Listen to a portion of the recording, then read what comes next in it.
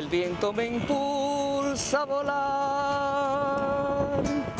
y veo en el aire una gran ciudad.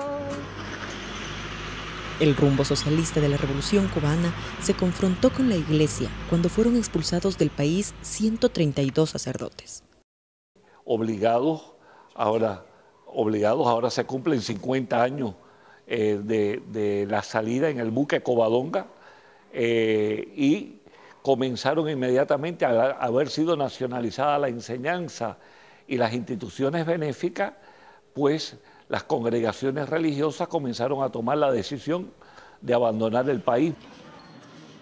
A partir de 1961 la iglesia se quedó constreñida a lo que eran los templos y el grupo de, miembros de la comunidad entonces que permanecieron fieles a lo largo de la década del 60, del 70, incluso inicio de la década del 80. Fueron 25 años donde la iglesia estuvo verdaderamente eh, retraída en 1986, donde literalmente nuestra iglesia en Cuba dijo lo mismo que ahora en el año 2007 los obispos dijimos en Aparecida, tenemos que dejar atrás una iglesia de mantenimiento, una iglesia de conservación, para salir a ser una iglesia misionera tal como Jesús nos, nos, nos indicó.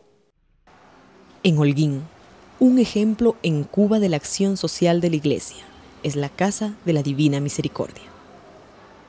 Nos encontramos en la Casa de la Divina Misericordia, institución caritativa que se dedica al cuidado de los ancianos, de un grupo de ellos, y trabaja también en la promoción de las personas con discapacidad y en el programa de VIH-Sida. Esta es la recepción de la casa, recibidor, eh, confortable para la recepción de los ancianos y su estancia. Muchos de ellos comparten la parte de la mañana y después que almuerzan comparten amigablemente los unos con los otros aquí en este espacio. Pasamos al patio interior de la casa.